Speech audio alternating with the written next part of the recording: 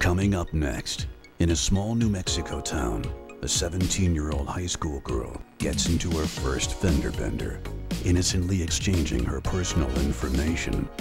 Late that night, she is stalked by the stranger she so willingly handed all of her information to in Fender Bender.